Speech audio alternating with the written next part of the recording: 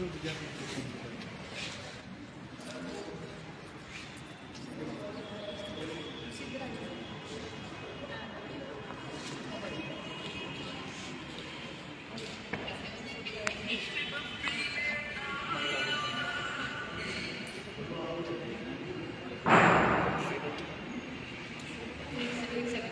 आ जाओ दोनों?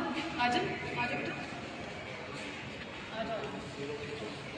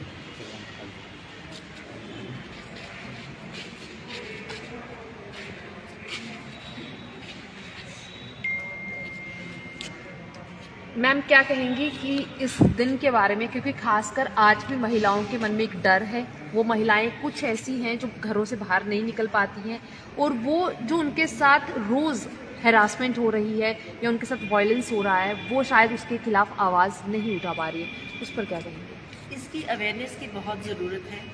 गांव-गांव में, शहर में, ये नहीं कि शहर में ये चीज़ें नहीं पनपती तो इसके री एड्रेसल एंड एड्रेसल के लिए ये जो महकमा है आज हम यहाँ पे S H O Aarti Thakur ji के पास आए हैं। इनको ऑनर करने के लिए कि यहाँ पे रोज़मर्रा अगर हम देखें कि 15 टू 20 केसेस एवरी डे चाहे वो डोमेस्टिक वायलेंस है वर्बल अब्यूज़ है हरासमेंट केसेस हैं चाहे वो अ, किसी ने भी सास बहू के झगड़े या कुछ भी यही नहीं कि एड्रेसल जस्ट बहुओं का होगा इवन अगर मदर इन लॉ को भी डॉटर इन लॉ ट्रबल कर रही हैं तो उसको भी यहाँ पे रीएड्रेसल और हर औरत की जो elimination of violence against women हम ये जो इंटरनेशनल डे मना रहे हैं twenty fifth of November so इसके हम बोल रहे हैं कि एड्रेसल जो है that is the main cause पहले तो एक आवाज़ उठना आवाज़ उठना और फिर उनकी सुनवाई होनी।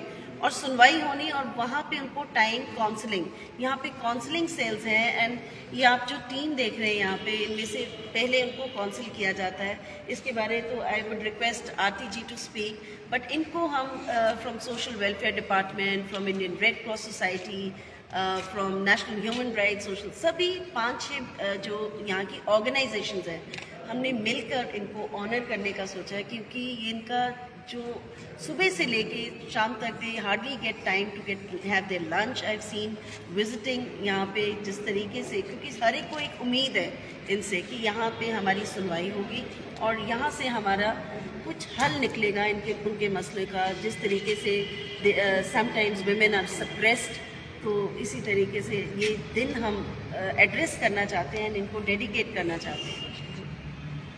आरती मैम, कितना मुश्किल हो जाता है जिस तरीके से कितने पेचीदा यहाँ पे आप देखने को मिलता है, जिस तरह के मामले आते हैं, उसको कितना टाइम लगता है और किस तरीके से सुलवाया जाता है? एक्चुअली जैसे हमारे पास कोई कंप्लेंट आती है तो हम लोग पहले दोनों फैमिलीज़ को सुनते हैं। हमने मिनिमम पीरियड इसमें रखा है तीन महीने का। तो कोशिश करते हैं कि उसी में कंपाइल कर ले सो so दैट कि बहुत लेंथी प्रोसेस ना चले। इन केस हमसे यहाँ काउंसलिंग से सेटल ना हो तो फिर हम उनको उसकी चार्जशीट फ़ाइल करते हैं कोर्ट में। मैम, आपने तो बता दिया कि इस तरीके से प्रोसेस रहता है। पर कई लोग उससे भी खुश नहीं हो पाते हैं या कई लोगों की वो रहता है कि इतना टाइम क्यों डाला गया है? तीन महीने कईयों को ज़्यादा लग जाते हैं। तो उनके लिए किस तरीके से रहता है? क्या ये जो वुमेन सेल है, जिस तरीके से हम देख रहे हैं, महिलाओं के लिए बहुत अच्छा काम कर रहा है, महिलाओं के साथ खड़ा है, पर फिर भी कुछ महिलाएँ तो नहीं पहुँच पाती हैं। उनके लिए किस तरीके से रहता है कि वो कनेक्शन जो है बन पाए और वो ईजिली हर चीज़ जो है उनके डोर स्टेप तक पहुँचे? देखिए, ऐसा है कि जैसे आपने बोला कि हर कोई खुश होकर नहीं जाता तो ये बात सही है कि हर इंसान खुश होकर नहीं जा रहा है, लेकिन हम वो करते हैं जो सही है। गलत का साथ नहीं देते हैं। अगर कहीं औरत गलत है तो उसको भी समझाया जाता है कि आप यहाँ गलत कर रहे हैं। नंबर एक, नंबर दो, आपने जैसे बताया कि बहुत लेंथी जब जाता है लेंथी प्रोसेस अगर जाता है तो हम उसको कोशिश करते हैं, क्योंकि अगर शादी चार साल की है, पाँच साल की है, और एक साल में तीन सौ पैंसठ दिन होते हैं, आप उसको मल्टीप्लाई करें, कितना टाइम पीरियड है? तो ये तो हो नहीं सकता कि एकदम से इतना लंबा लेंथी है प्रोसेस जो जो झगड़ा हुआ है तो हम उसको एक या दो सिटिंग में ख़त्म कर पाएँ तो इसीलिए थोड़ा टाइम लग जाता है, लेकिन लास्ट में कोई खाली हाथ यहाँ से नहीं जाता है। जी।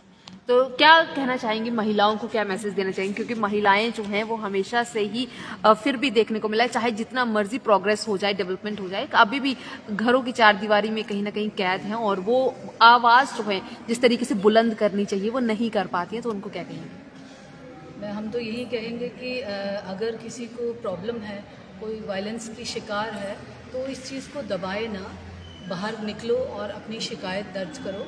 लेकिन उसके साथ साथ आप ये भी याद रखें कि आपको सिर्फ़ अपनी राइट्स का पता ना हो, अपनी ड्यूटीज़ का भी आपको अवेयरनेस होनी ज़रूरी है।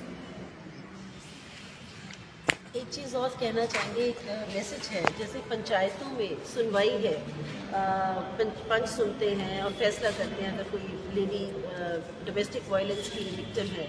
लेकिन शहरों में ज़्यादातर कुछ रीएड्रेसल नहीं हो रहे केसेस पहुँचते नहीं है रिपोर्टिंग नहीं हो रही, वो है अर्बन स्लम्स तक। उनकी तरफ़ भी सिंस सोशल मीडिया का ज़माना है तो उनको भी एक मैसेज पहुँचाया जाए कि ऐसे हेल्पलाइन के लिए उनके पास यहाँ पे सेल्स हैं विमेन सेल्स हैं वो अपना मैसेज या अपनी आवाज़ उठा के यहाँ पे एड्रेस कर सकते हैं और उनका सुनवाई होगी। Thank you